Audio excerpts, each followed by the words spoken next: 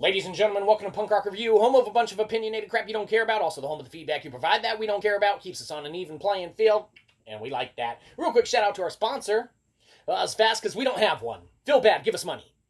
Anyhow, moving straight into it today. Today we're going to be talking about a game that's been out for years and years. How many? Uh, a couple years. Who cares? Uh, we, of course, are talking about the one and only Cuphead. So, Cuphead, what can be said about this one? Well, uh, first and foremost, what can be said about it is we have not beaten this game. Uh, you know, we actually only recently have just gotten to the third isle, uh, third island, or whatever you want to call it, the third land, the third world. You go past the dice guy, whatever. Uh, but man, Cuphead, does it stand the test of time, and is it still very playable to this day and point in time?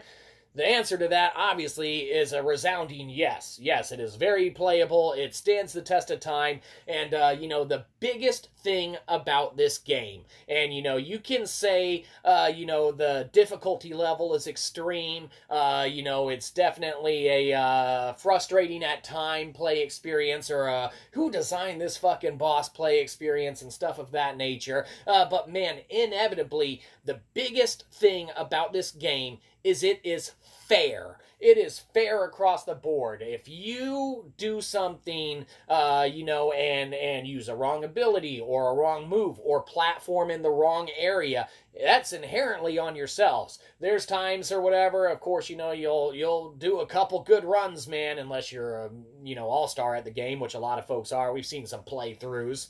You crazy bastards, you're too good. Uh, but you know, uh, there's there's inevitably or whatever just the great great experience that is behind that difficulty level. And the more you work at it, the more you get better at it and stuff, the more enjoyable it is. And when you do get those final payoff moments, when you do collect a soul contract or anything like that, it is a nice feeling, uh, you know, of, of pride and accomplishment couple companies look for that in their games.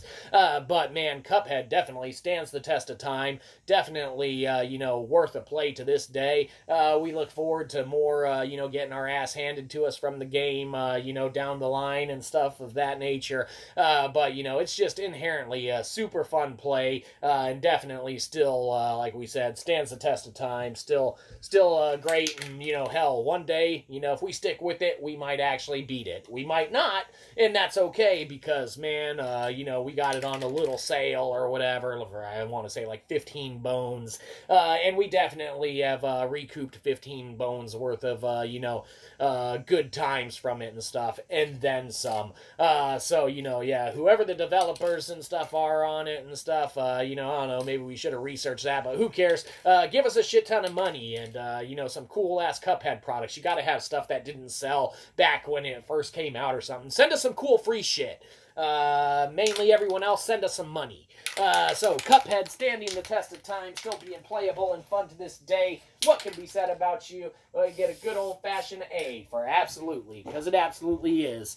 Uh, still worth a play, and it absolutely does stand the test of time, and it absolutely is still worth a play, which I think we already said, but it doesn't matter. Who cares? Extra crappy content for you. You're welcome.